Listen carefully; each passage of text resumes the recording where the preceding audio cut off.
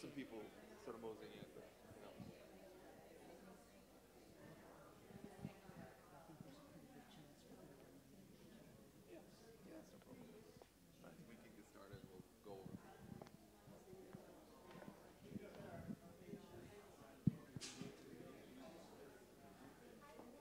Good afternoon, ladies and gentlemen, and welcome to our pre-concert talk. I'm so thrilled you're here on this beautiful fall day. Um, as usual, I have uh, a wonderful partner, and you know her very well, uh, to do these pre-concert talks. So please give a warm welcome to Laurie Shulman. Good afternoon, everyone. Wonderful to be back in Fort Worth. I apologize for missing your first two concerts of the season, but I had a really good reason. I was in Italy.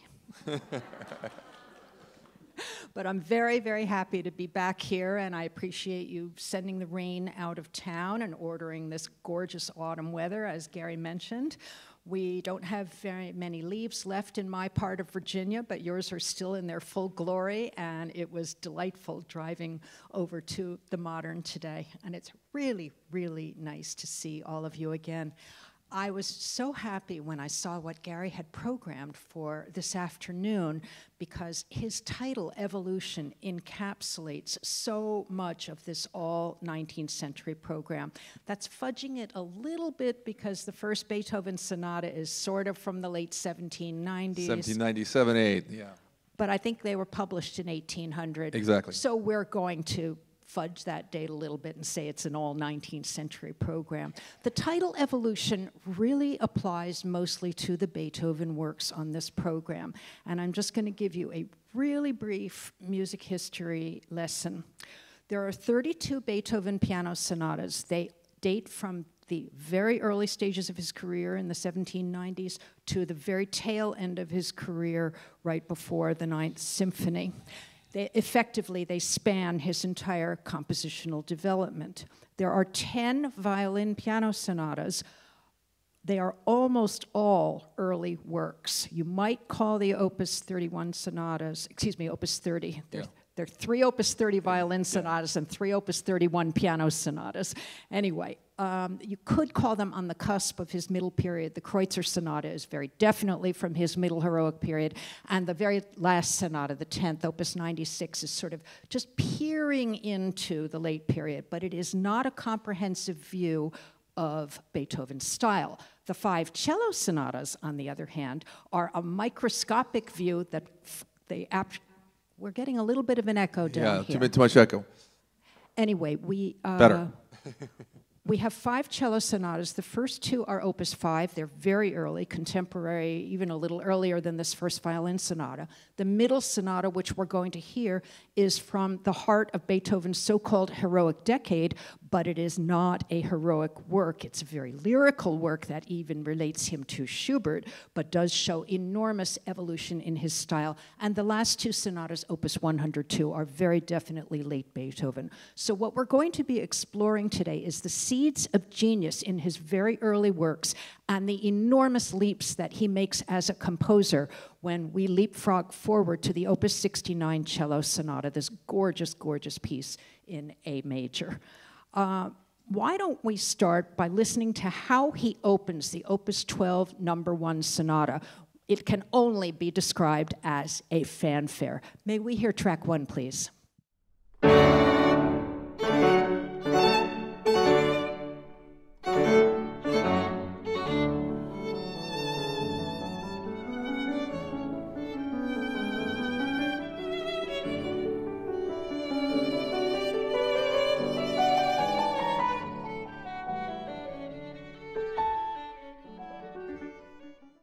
So, Gary, who had Beethoven been studying with? Well, he was studying with the gentleman right there, Franz Joseph Haydn. And I think one of the reasons that we chose this very opening in the violin sonata is because it's a complete contrast for what Haydn probably would have uh, um, prescribed, if you will. There's a, the great David Horowitz shtick where Horowitz imagines what Haydn would have said to Beethoven, for example, for the Fifth Symphony, because Haydn, in, in this stick, he says, well, you know, you don't want to do this. You want a nice, slow introduction, let people relax and settle in their seats. And Beethoven says, no, da da da dum.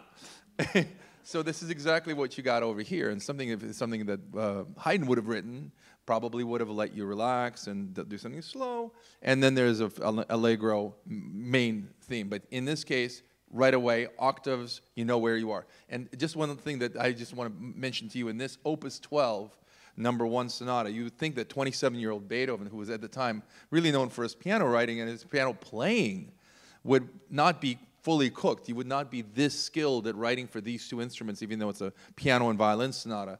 But you get something that is completely polished early Beethoven.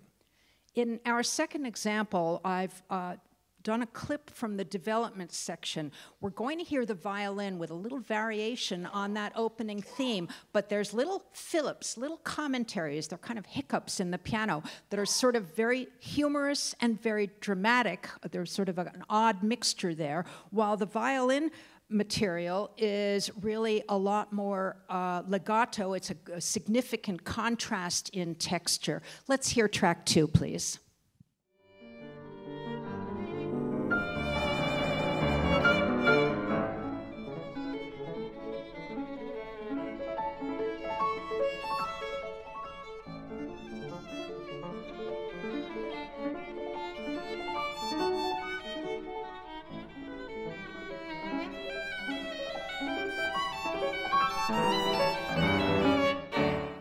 And then, of course, we have the recapitulation and the restatement of that very decisive stand up and notice me arpeggio. Indeed. One thing that you will listen for, I think, this entire sonata is full of humor.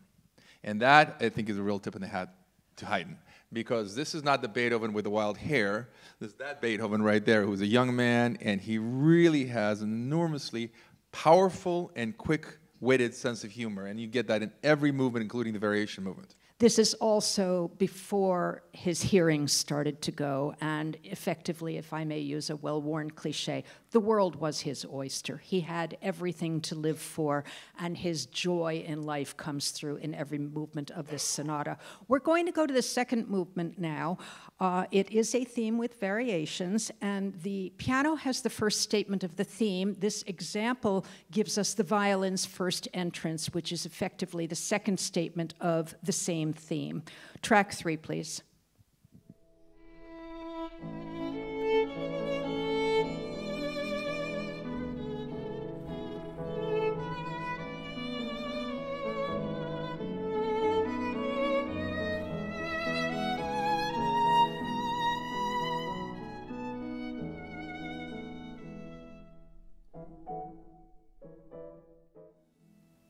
The warmth of the string sound really puts us in a very different space here, doesn't it? You, you mentioned Schubert, and to me, this is exactly this is Schubert's writing. And I, am not saying he necessarily borrowed it from Schubert. I know it's it's original, but it's the kind of effortless melody that permeates this entire slow movement. There's nothing contrived about it. It just sort of comes from God, and it's amazing.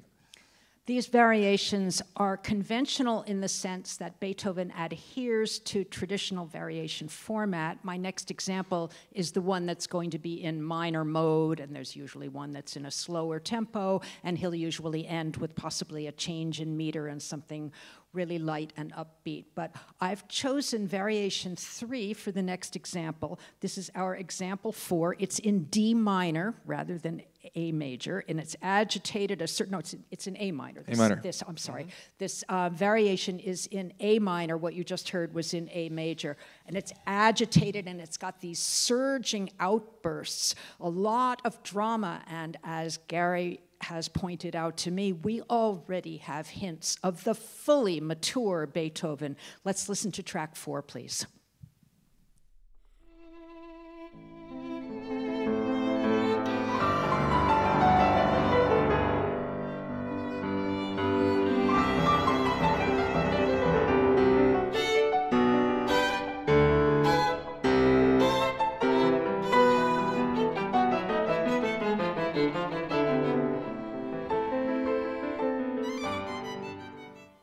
Gary, can you comment on the relationship between piano and violin here? Absolutely. It's, it's an equal relationship. And uh, the thing that I think we should really keep in mind is the Kreutzer Sonata, which is the ninth sonata, was pretty much published within a year of this sonata. All of these were written, one through nine were written around 1801, 1802, publishing anyway. And then that last G major, the 10th sonata, was 1810, really 1811.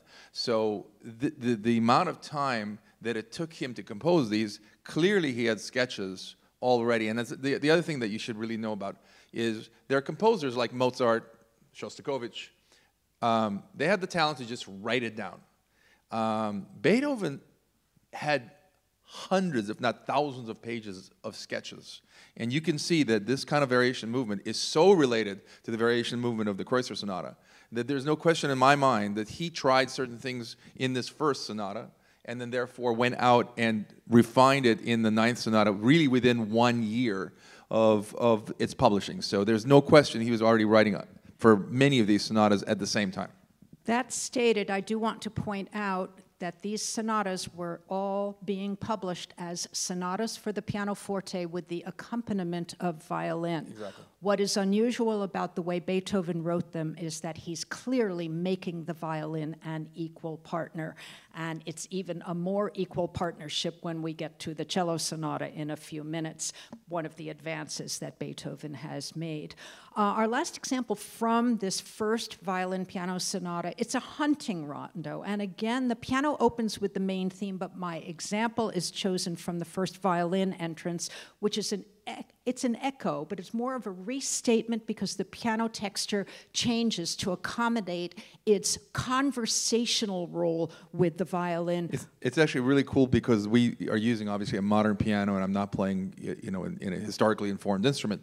So that instrument would be very very different from the Steinway that's in front of you, and the articulation that we both get to use actually emphasizes the difference between the keyboard and the string instrument.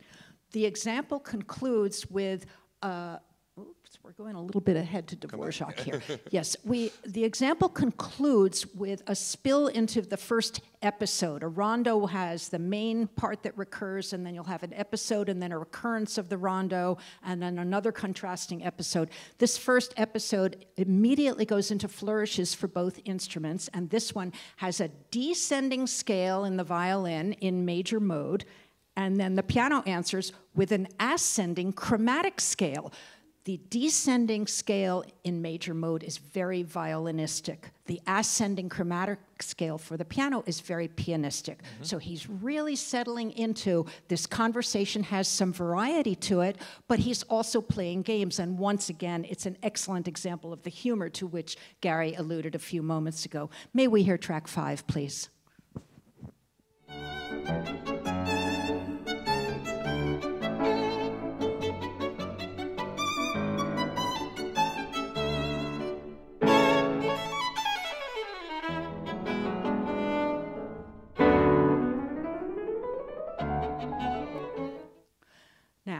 Explain to me why is this humorous?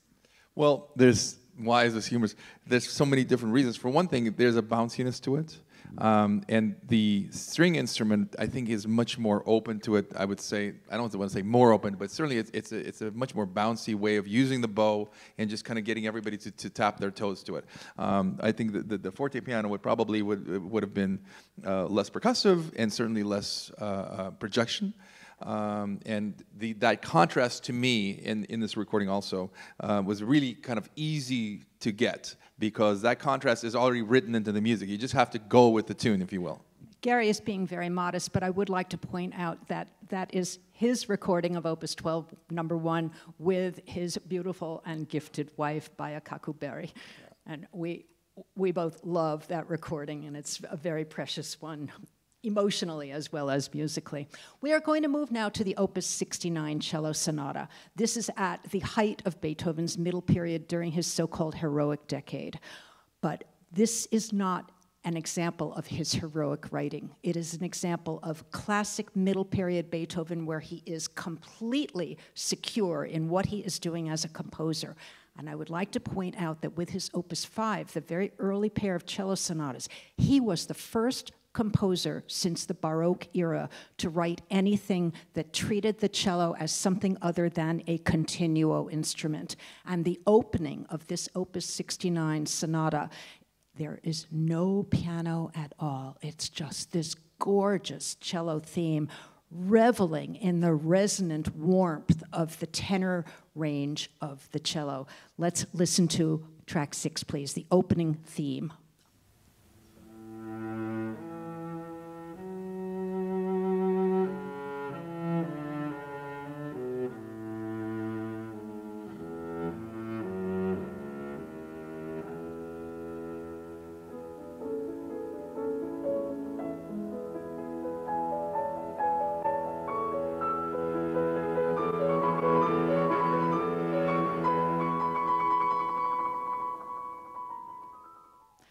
So, what we have here is a total shift in balance. The spotlight is clearly on the cellist. Everything is relaxing and warm and lyrical. When the piano creeps in, it's with a very subtle underpinning of an accompaniment figure. And then all of a sudden, the piano says, Wait a minute, what about me? And goes off into this little mini cadenza, asserting its So own. So basically, every ingredient you're going to hear in this movement is stated in the first eight bars. Yes. So he he basically says to you, "Here's the menu of what I'm about to compose, so that you're ready for. You've got the solo, you've you've got the answer in the piano, and you have the cadential, really almost opera writing that finishes that phrase. It's really quite something." And the next example, which occurs almost directly on the heels of what we just heard, is an outburst in minor mode. I don't want to call it a minor outburst, but it's a major outburst in minor mode because, again, he's saying, wait a minute, sit up and notice me. This is about getting you to sit ramrod street in, uh, straight up in your chairs and just acknowledge that something very dramatic is going on, but nothing dark and turbulent. It's just a get your attention thing. Let's hear track seven, please.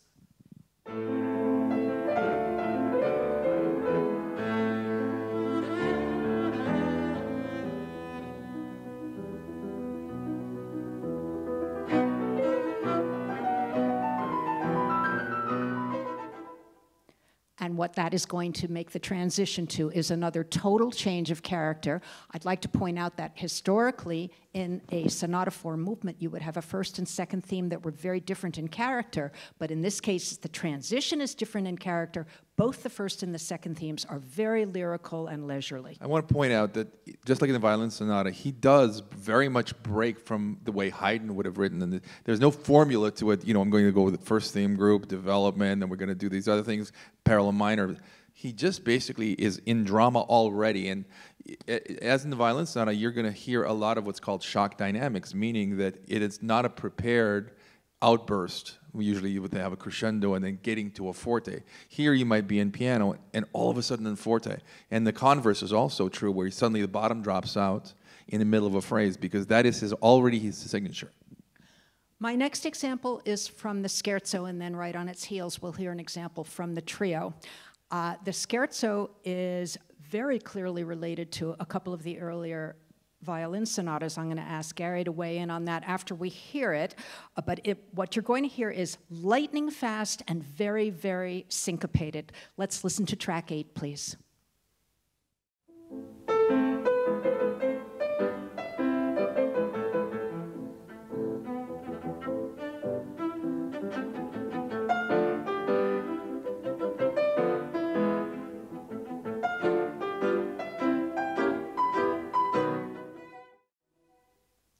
Okay, Gary, which sonata for violin and piano does this remind you of? The, this, of course, the spring. Um, the, the scherzo, well, first we should remind our audience that scherzo in Italian means joke. And so much like many of early Beethoven scherzos, this truly is a joke, unlike Brahms scherzos, which are all tragic and scary. Um, but in this case, what, what is he doing? He's moving the beat off of one instead of something that maybe a lesser composer would have written everything on one. Bam, da, da, ba, ba, bam. He says da, ba, ba, da, da, dum. Almost maybe looking forward to jazz. In a way. What, what would Beethoven have done if he was in New Orleans at the time? What or? Completely different cello sonata. and I would point out that in his very last piano sonata, which is Opus 113, he has a variation that pianists have dubbed the boogie woogie variation. That's it. So Beethoven definitely He got the started it. jazz gene. He was just Started a it. century ahead of his time. Yep. Okay. Our next example is from the trio section of that same scherzo.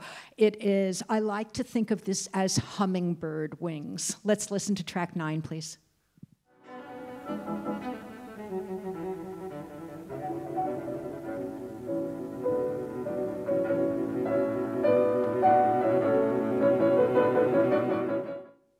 So that's not a trill, is it? That's just it. I'm so glad you mentioned it. A trill, as you can imagine, is this very similar pattern, but it's usually on over two notes. So you have a main note and the note above it. Well, what is he, he doing here? He's taking one main note and going immediately to another main note with a trill above that. So no, it's not a trill, but it's a very quick sort of a, a dexterity exercise, and it's something all of us will always do. Um, Popper did it for the cello, Schradieck did it for the violin, and the whole idea is that you have independence of fingers, so you can switch between one, two, and two, three, and three, four without any oral notice, notification at all.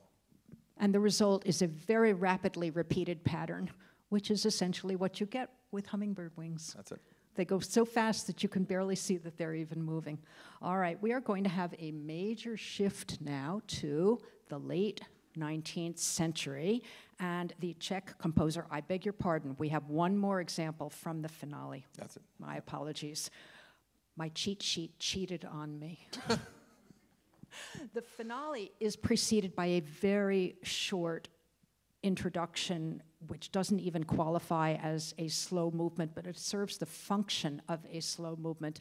And then it morphs into this gorgeous theme, which I think is up there with the canonical theme of the Franck Sonata as the most gorgeous A major theme in the chamber Absolutely. music literature. Let's hear track number 10, please.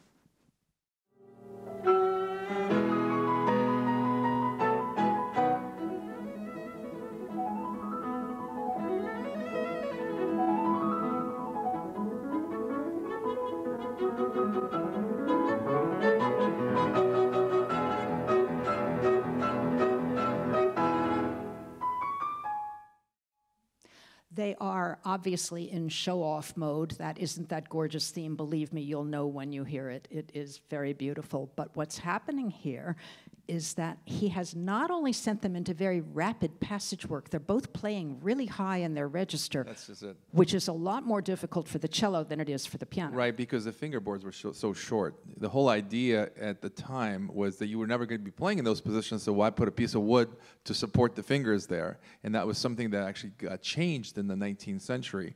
But at the time, I can imagine this is something that would have been almost impossible to play because you don't have the support to play in high positions. So, in summary, before we leave Beethoven for Dvorak, what I'd love for you to be listening to most carefully this afternoon is the conversational exchanges between the two instruments in both the violin piano sonata and the cello piano sonata, and how much more sophisticated and adventuresome Beethoven has become in taking this instrument, the cello, which had only 50 years before been an instrument largely relegated to a continuo role and making it absolutely front and center in the musical. Real solo instrument suddenly. Yes, yes. All right, now we move to the late 19th century, another chamber music favorite of all of ours, Antonin Dvorak.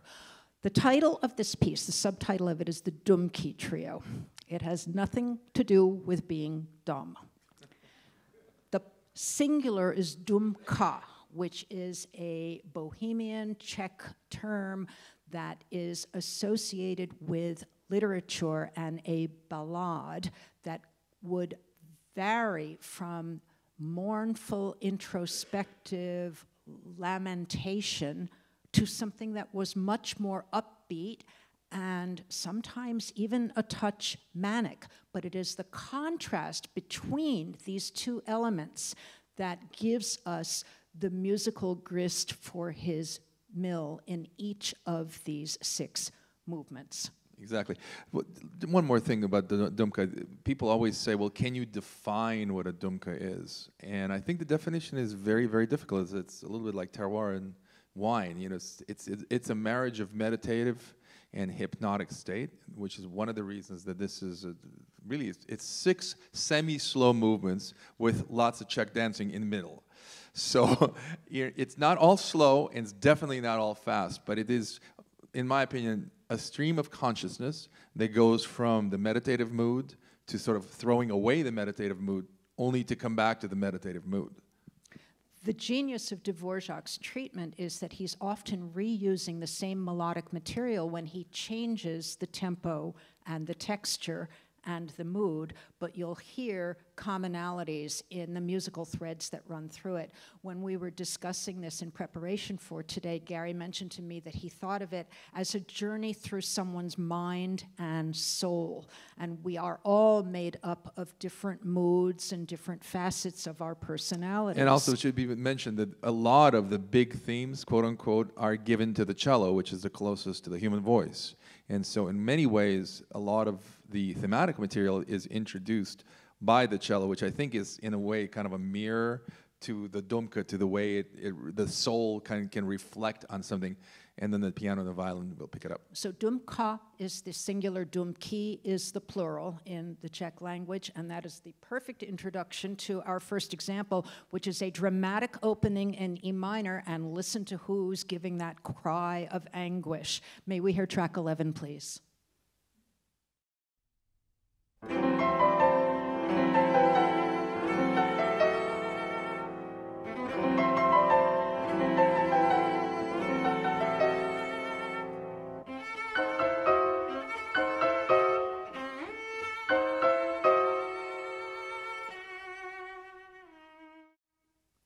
We have a cry of grief that, to my ears, looks forward to the early 20th century instrumental works and operas of Leos Janáček. We should mention that one of the very great 19th century cello concertos was written by Antonín Dvorak, and so he was very familiar with the instrument, with its capability, and most importantly, how it can be a solo instrument which takes the reins right here in the very opening. So at that very beginning, we have the cello in a really strong expressive range for the cello, and that particular example resolves into a mini recitative for the cello before it moves to the next section of the music. But in about two minutes, Dvorak, using the same melodic material, switches to E major. He started out in E minor, and he lightens things up at twice the tempo. Let's hear track 12, please.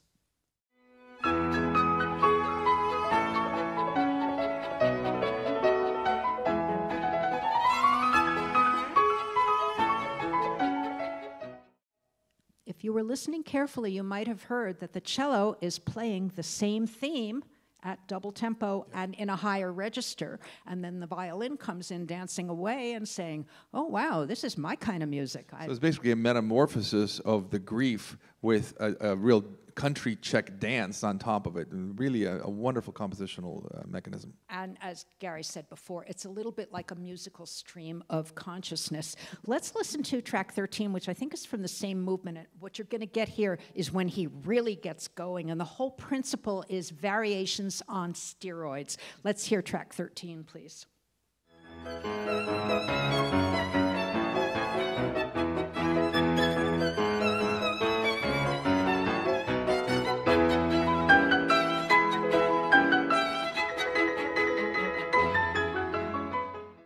He wants to make sure that he's established this good mood before he goes back to another cry of grief. Yeah, it, the, the thing, when I was in the Czech Republic, we always ask about what is a dumka so they can explain it. And their point on this was that whatever your mood is, you're always guaranteed to change. Yes. So if you're in the middle of the dance, it's dance, like the it's weather gonna, in North Texas. Exactly. if you're in the middle of a dance, it's going to be bad. And if it's bad, it'll probably get better. so it, it's never the same all the time. So we obviously don't have examples from all six of these movements, but we're, what we're trying to lay out for you is the general principles that govern each of these dumki that constitute this wonderful uh, piano trio that is unique in the literature. About the only thing comparable to it is Haydn's Seven Last Words. Absolutely, I was just thinking about that. And there you have narration, and you have a really a theater piece where this is more of the theater piece for your imagination. So in my last two clips, I've selected one that uh, gives us a window into the lush chromaticism that is so central to Dvorak's harmonic language toward the end of the 19th century. But he's really celebrating the string sound here, and the piano is limited to rolled chords that are just filling out that harmony. Let's hear track 14, please.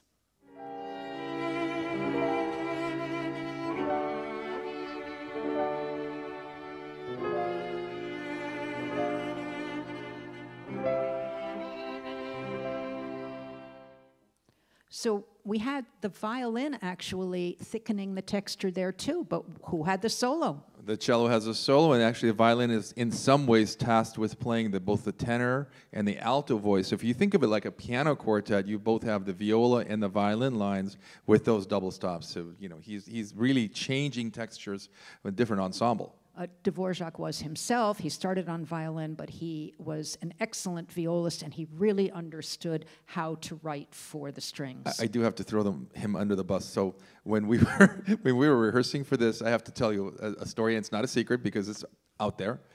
So apparently, when they premiered this, Dvorak played the piano, and some of his Czech colleagues played violin and, and cello. And at the end of the performance, there was a review that said the composer wrote a brilliant work, but he had a lot of trouble playing the piano with his own notes. Yes. So apparently, he had he, he had a, a, lot better compositional talent than he did uh, with his fingers. Yeah. And as much as we all love the Dvorak piano quintet, the beautiful Opus 81, 81. in A major, every pianist who plays it grouses about how unpianistic the yeah. piano but part fortunately, is. the string lines are equally difficult. Yeah. All right, the next uh, example I have is a fast section in minor mode, which kind of shows us that minor mode doesn't necessarily mean sad. And we hear a lot of this in Bach. A lot of the um, suites and partitas will have minor mode movements that are very dance like. A mm-hmm. suite really is a collection of dances, but this is emphasizing the dance connection in the Dumky. Let's hear track 15, please.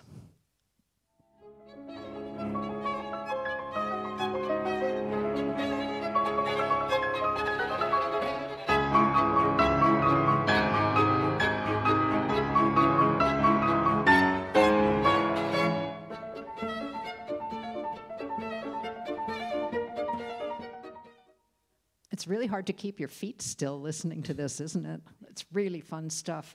And our last example gives us, it's not exactly a Rossini crescendo, but if you can think back to those years in the 40s and 50s where we learned a lot of our classical music from watching cartoons in and the Keystone early Cops. days. Yes, exactly.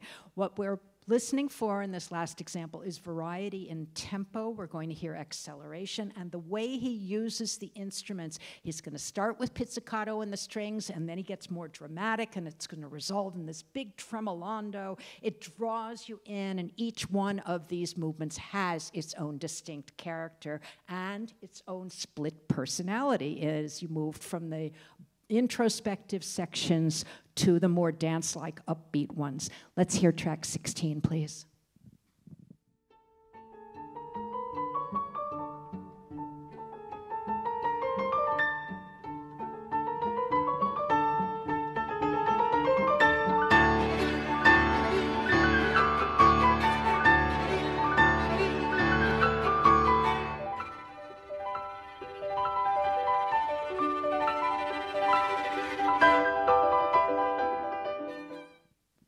So, Gary, is it fun to play? It's really fun to play, but this section is, is one of my favorites actually in the entire piece because the way I imagine it is you look at a dancer, maybe like this picture, where it starts out and the, one of the dancers at least is a little overweight and he's a little not elegant, but by the time you end the section, he's very athletic. So again, the stream of consciousness might overtake two, three, four, five months, but it starts out in a, in a different place. And we have to sort of imagine is it because they gave him another glass of ale or because he was sobering up after processing the earlier glass of ale?